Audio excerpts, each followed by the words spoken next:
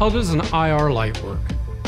Before we move on to answer this question, you must understand that the human eye can only see light frequencies within a certain range. If the light exceeds the frequency, it's called an ultraviolet light, whereas if the frequency is lower than the standard range, it's called an infrared or IR light. The PARD IR illuminators generate infrared light that is invisible to the eye. The light is generated and passed on in the region that lies in the range of the night vision device. The PARD night vision devices are made with the capability to capitalize on this infrared light and create clear images in the dark. The IR illuminator light can only be distinguished by the night vision device. The advantages of IR illuminators are that they allow the night vision devices to function with no visible light. This is just one of the many innovative features that PARD provides to make your user experience the best that it can be.